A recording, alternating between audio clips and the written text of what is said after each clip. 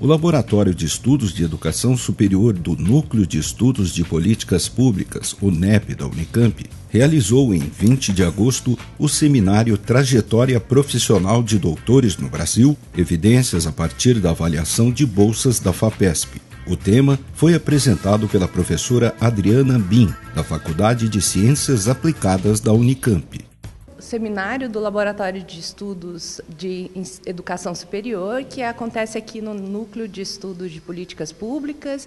O grupo é um grupo interdisciplinar que reúne professores, pesquisadores e alunos de algumas unidades da Unicamp, aqui do NEP, da Faculdade de Educação, do Instituto de Matemática e Estatística, do Instituto de Física e do Instituto de Geociências. Uh, o tema de hoje é a trajetória dos doutores é, no Brasil.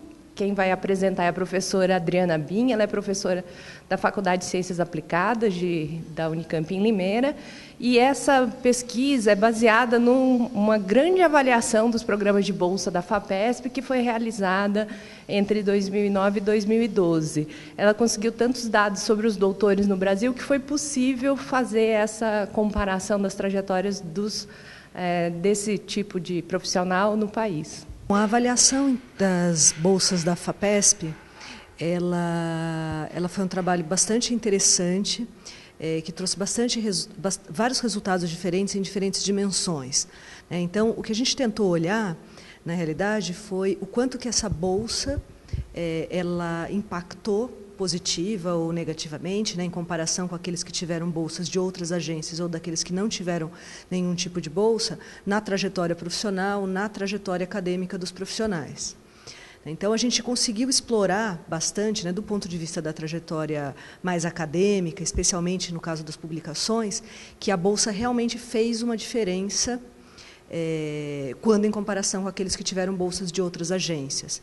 Por quê? Porque esses ex-bolsistas da FAPESP eles publicaram não só em maior quantidade, como publicaram também em periódicos de maior qualidade, considerando o fator de impacto dos periódicos. Claro que com diferenças quando a gente está falando dos ex-bolsistas de doutorado, de mestrado, de iniciação científica, mas o que a gente consegue enxergar é um resultado bastante positivo. Quando a gente vai para a trajetória profissional, a gente não consegue enxergar um resultado tão marcante, em termos de diferença, do bolsista FAPESP com os bolsistas de outras agências. Existe alguma diferença em termos do tempo até o primeiro vínculo empregatício, mas, por exemplo, não existe diferença em relação ao tipo de atividade profissional que esses ex-bolsistas é, acabaram se desempenhando, ou seja, existe uma dedicação similar em termos de atividades de ensino, de pesquisa, que era o nosso foco, é, e a nossa hipótese por trás disso, quer dizer, é que embora a Bolsa FAPESP ela dê um impulso inicial nessa carreira, fazendo com que ele encontre esse vínculo mais rápido, ao longo do tempo, esses profissionais se aproximam, não fazendo tanta diferença. No, é, no mais geral, né, no âmbito mais geral, né, o que esses dados permitiram é, também que a gente fizesse um olhar sobre um pouco da trajetória profissional dos doutores no Brasil, não só olhando a diferença entre FAPESP e não FAPESP, mas o que está acontecendo com os doutores. Isso também traz um resultado complementar, que não era o resultado original previsto quando a gente fez a avaliação, mas que é um resultado interessante e que mostra para a gente, essencialmente, que a gente tem uma taxa de desemprego grande de doutores, né? É, um número bastante expressivo de doutores que estão fazendo pós-doutorado e que acabam optando pelo pós-doutorado como uma alternativa para continuar fazendo pesquisa. Né? que tem uma evolução do salário interessante ao longo da carreira, mas que ela não é muito é, marcada, quer dizer, aqueles doutores de muito tempo acabam se aproximando em termos de salário dos doutores mais recentes ao longo do tempo, não é uma carreira que traz grande diferenciação.